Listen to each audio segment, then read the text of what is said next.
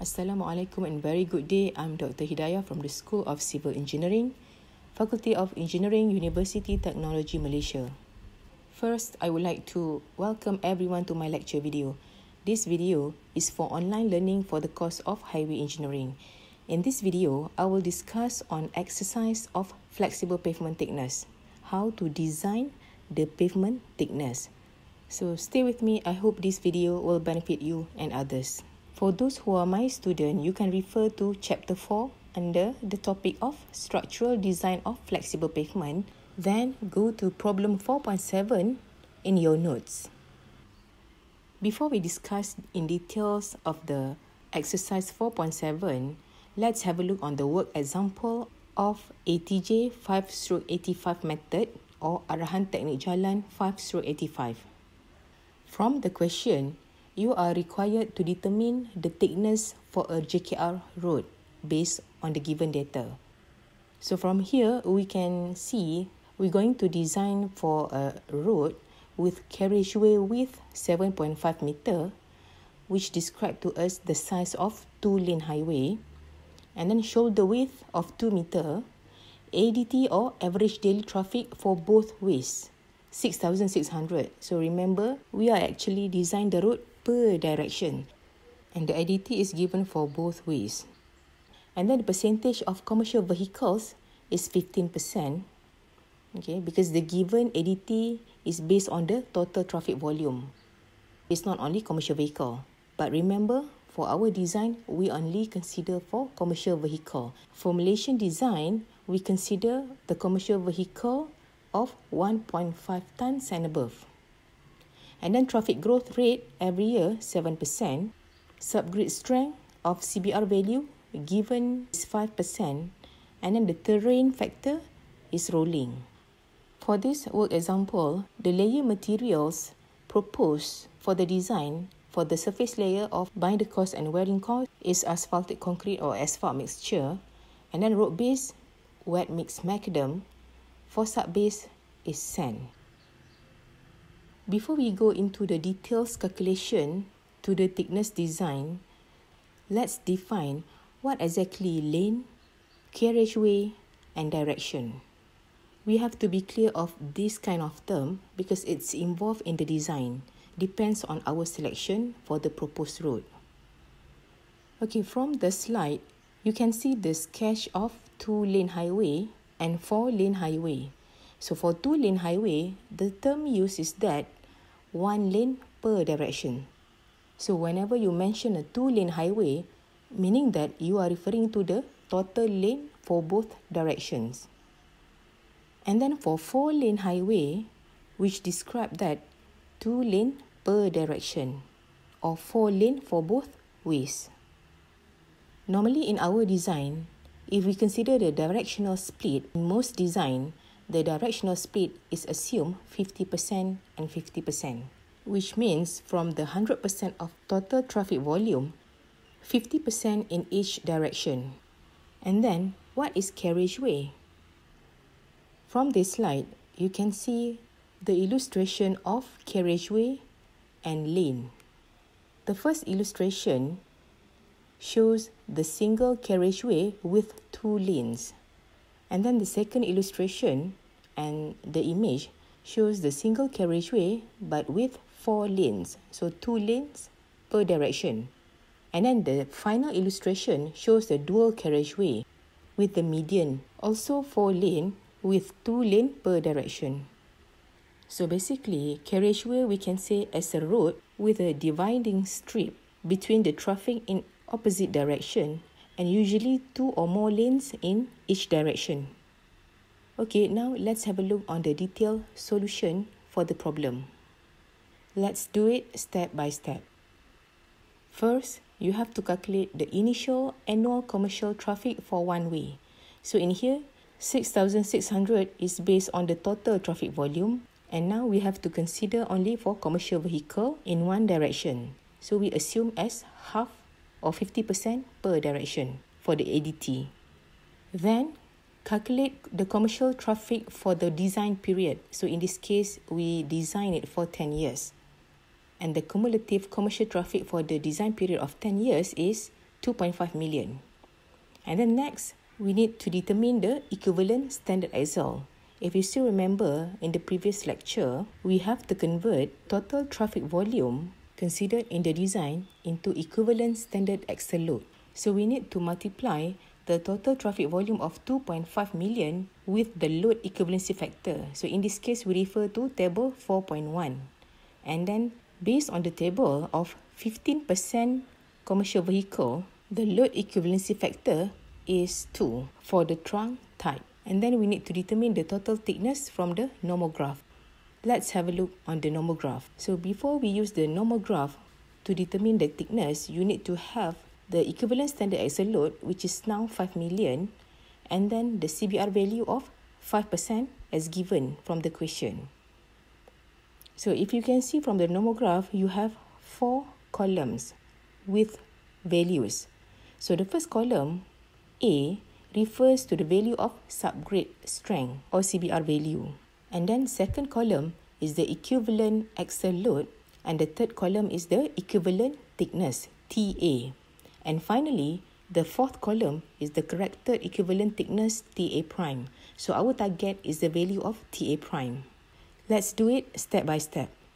Starting with the first column, first you have to mark 3% CBR. That's the rule. You have to start with the 3% CBR. And then what you need to do is to mark the 5 million in the second column. Then using these two points, you have to connect the two points with a straight line. And then that straight line cross the third column. And then you have to mark the cross point as reference. Then, using the 5% CBR value, mark the 5% in the first column and then connect the points between the 5% and the cross point of the third column. And then the straight line between these two points should be extend to the fourth column of the corrected equivalent thickness. So now the value that we've got for the TA prime of this work example is 26 centimeter. It should be noted that this value represent the total thickness of the pavement. So next we have to determine the thickness of each layer which consists of sub base, road base, binder cost and wearing cost. Here you can refer to the question given in your notes of TA prime equivalent to SN or structural number. A refer to the structural coefficient as shown in table 4.5 and then D refer to the thickness of each layer as shown in table 4.6.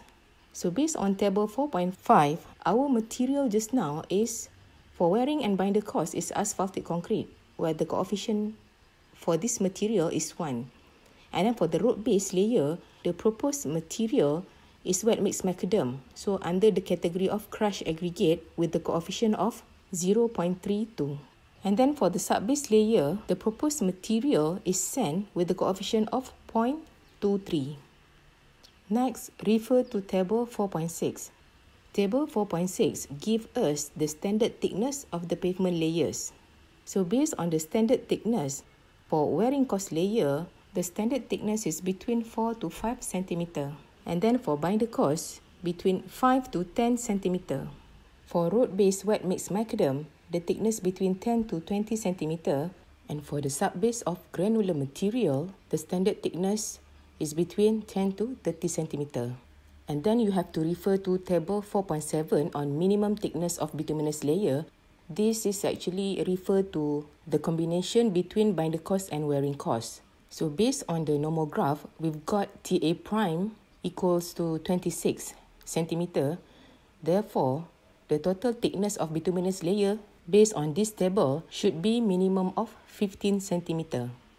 Detailed selection of the material, coefficient and minimum thickness for the different layers can be referred to this table. Okay, let's do the first trial. So for the first trial, based on the work example, denomination of D1, which refers to the thickness of asphaltic concrete that covers the binder cost and wearing cost, is 12.5 cm. And then D2 for the road base layer is 18 cm. And D3 for the sand of the sub base layer is 20 cm. So using the value selected, now we have to use the equation of Sn and then calculate the total. So in this case, for the first trial, Sn equals to 22.86. So it seems like the value less than the target TA prime. That's why we have to adjust the thickness for the second trial and then recalculate the Sn. But this time, we have to increase the thickness so that we can achieve the TA value. So let's have a look on the second trial. So for the second trial, D1 is nominated for 15 centimeter, D2 20 centimeter, and D3 is 20 centimeter. And finally, we've got the value of Sn is 26 centimeter, which is equal to the target TA prime. So now, meaning that the thickness proposed can be accepted. Okay, let's compare why the first trial doesn't achieve the target TA prime. Looking back at the previous table 4.7, when TA prime 26, the selection of the total thickness for the bituminous layer should be 15 centimeter minimum. So that's why in the first trial, we can't achieve the target total thickness because the trial only consider 12.5 centimeter. And finally, don't forget to sketch each of the layers with the selected thickness. For the binder cost and wearing cost, the 15% is split with 5 cm for the wearing cost and 10 cm for the binder cost as recommended in table 4.6. If the value of the total for wearing cost and binder cost more than 15%, meaning that we have to provide multi-layer for the asphaltic concrete, then we have to use the standard of one layer lift as shown in the table. So what is the final value for the design layers? From the design, wearing cost 5 cm, binder cost 10 cm, road base 20 cm, and finally sub base 20 cm. Okay, before we use the design values, we have to check whether the design is still comply with the estimated traffic volume for 10 years. First, we have to estimate the daily traffic per direction per lane after 10 years. Calculate the total one-way traffic at the end of 10 years. You can use the formula as shown in the slide. So using the formula, the value that we've got at the end of 10 years based on the estimation is 6492. Next, we have to calculate the daily traffic per direction per lane after 10 years based on the design capacity. First, calculate the maximum hourly one-way traffic flow using the C formula. So C equals to I multiply with R and multiply with T. The value of I, R and T can be referred to tables 4.2, 4.3 and 4.4. Okay, let's have a look on the first table of 4.2. This is to determine the I value, its maximum hourly capacity under ideal condition. From the work example, the road is proposed for two lane for both ways. So according to table 4.2, two lane both ways, the vehicle unit per hour is 2000. Therefore, in order to consider only per direction, then the 2000 is divided by 2. Next is for the R value its carriageway roadway reduction factor. From the question, the carriageway width is 7.5 meter and then shoulder width is 2 meter. Therefore, the R value based on table 4.3 is 1. Next, we have a look on table 4.4 on traffic reduction factor, T. In this example, the type of terrain is rolling. So using the formula given in the table, you just include PC, it's 15%, and the T value is 0.77. So back to the previous slide, C equals to 1000, multiply with 1 and multiply with 0.77. So the C value is 770 vehicle per hour per lane. So to compare with the estimation value, we have to calculate the daily traffic. And now step 3, we need to calculate the maximum daily capacity per lane per direction based on the design. So now, value of 770 vehicle per hour is multiplied with 10 hours. So this 10 hours is actually the consideration made on the operation daily time for the traffic. So from the slide, as you can see, when we compare the value of estimation and design, the capacity have not been reached after 10 years. Therefore, the design is considered acceptable. Next, let's have a look on the exercise 4.7. Refer to question 4.7.1. So first, you have to calculate the equivalent standard axle load for this vehicle with various axle load. And then for 4.7.2, you need to determine the mean CBR value for this particular subgrade given for 1 meter with different CBR value. Okay, let's have a look on question 4.7.1. A, for two axle truck with BG1 or axle load 1 is 6000 kg and axle load 2 is 10000 kg. Based on the previous lecture, the standard load for single axle is 8160 kg or 80 kN. So how this standard axle looks like? So from the slide, you can see single axle with single tires and then single axle with dual tires or its standard axle and then the tandem axle with single tires and finally the tandem axle with dual tires. So how to calculate the equivalent standard axle load or E? The formula is by taking the ratio between the axle load to the standard axle as given by the formula. So you can calculate the equivalent standard axle based on the formula proposed by ATJ5-85 or Road Note 31 method. The difference between the formulas of both methods is based on the N value.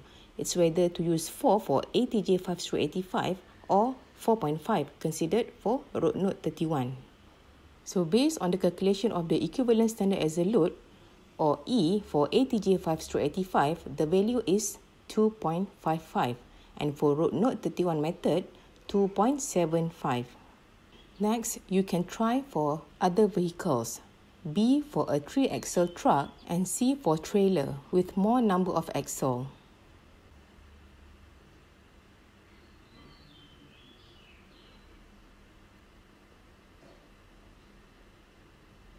This slide compares different types of vehicle with different easel. Looking at the easel value, that's why we don't consider car in the design because the value is very small, which describe that the car impose less damage to the pavement surface. Next, we have a look on question 4.7.2. Determine the mean CBR value for the subgrade given for 1 meter. Using the formula given, the mean CBR value is 15%. Next question, 4.7.3, it's about axle load study. The given data is axle load range in ton, number of axle, and number of commercial vehicle. First, let's have a look on how to calculate average number of axle per commercial vehicle total all the number of axle and then divided by total commercial vehicle. And then next, how to calculate total equivalent standard axle for that particular day. Using the formula, choose the average axle load from the range given. And then divided by the standard axle, multiply with the number of axle for the given range. Next, calculate the average number of standard axle per commercial vehicle. And finally, the average number of standard axle per commercial axle. Okay, next, let's have a look on question 4.7.4. Design a pavement for a two-lane rural road to carry 250 vehicles per direction per day with percentage of commercial vehicle of 55%, the traffic growth rate of 5%, and subgrade CBR of 10% using Road Note 31 method. Okay, based on the previous lecture, Road Note 31 method use tables or catalog to determine the pavement thickness. Based on previous lecture, in order to determine the pavement thickness design based on Road Note 31, you need to know two main parameters. First is the subgrade class and then second is the traffic classes based on axle. Okay, let's do the design process. First step, you have to calculate the initial annual commercial vehicle for one direction or V node. the formula used is similar to ATJ 5-85 that we have discussed before. So here the average daily traffic given is 250 and then the percentage of commercial vehicle is 55%. And then for this case, the average daily traffic is given per direction. So you don't have to split by 50% again in the traffic volume. That's why it's considered as 1. So the initial annual commercial vehicle for one direction is about 50,000 and then calculate the total number for commercial vehicle for the design period in one direction. So in this case, it's considered for 10 years. So for 10 years estimation, the total number of commercial vehicle is about 630,000. And then we have to convert the total traffic volume into axle load. As referred to table 4.1 for equivalent factor, so E value is selected at 3.7 based on the percentage of commercial vehicle of 55%. So finally, we can get the value of equivalent standard axle of 2.3 million. Then, next step, we need to determine the traffic and subgrade classes based on table 4.20 and table 4.21 as referred in your notes. So refer to table 4.20 based on the traffic classes the total equivalent standard axle load is equivalent to T4 between the range of 1.5 to 3 million. And then next, for the subgrade strength, the class is S4 based on the range of the CBR value between 8 to 14%. Then by having the T4 and S4, we need to use the catalogue to determine the pavement thickness. This is the catalogue used to determine the pavement thickness based on the method of road note 31. Based on the table, we've got T4 for the traffic classes and then S4 the subgrade class. Therefore, as you can see from the table or catalogue, the proposed thickness layer is double surface dressing on top and then 20 cm for the road base and 20 cm for the granular sub base. Okay, next we have a look on problem 4.7.5. Using Road Note 31 approach, determine the required pavement thickness if the design cumulative standard axle is 12 million, subgrade having plasticity index of 20, and then water table 2 meters below formation. To solve this problem, again, the traffic classes is referred to table 4.20 with the traffic class is T7. And then in this case, we don't have any value for CBR strength. So we need to refer to table 4.22. By having the depth of water table from formation of 2 meter and then the plasticity index of 20, the classification of subgrade strength is S4. Then refer to the catalogue for T7 and S4. So based on the sketch here, the thickness layer proposed for bituminous surface is 1 to 5 mm and then granular road base is 2 to 5 mm and finally the granular sub base is 175 mm. Okay, next we have a look on problem 4.7.6. Based on the given details, design the pavement thickness using Arahan Teknik Jalan, ATJ 5-85 and Road Note 31 methods. The data given is the average commercial vehicle per day per direction in 2016 is 1,600, which is 30% of the total traffic per day per direction. And then traffic growth per year 6%. Design life proposed is for 10 years. The thickness and CBR value are given for 1 meter and the project is expected to complete and open for traffic in 2019. So compare both methods and give your comments. As referred to the slide, I have provided extra information on the assumption that you need to use for ATJ 5 through 85. Okay, let's have a look on the method of ATJ 5 through 85. First, we have to estimate the daily traffic per direction per lane in 2019 based on the data given in 2016. So we've got 1900 vehicle. Okay, next calculate the initial annual commercial vehicle for one direction in 2019. So no need to include the directional split and no need to multiply with the percentage of commercial vehicle because the ADT itself is given in commercial vehicle and for one direction. So from the calculation, we've got almost 700,000. Next, we have to estimate the total number for commercial vehicles for the design period of 10 years. So based on the estimation, the total commercial vehicle is 9 million. And then next, calculate the total cumulative equivalent standard axle load for that number of vehicle. So first, you have to refer to table 4.1 to select the load equivalency factor. So in this case, it's 3. Okay, by having that load equivalency factor, the value of ESA is 27 million.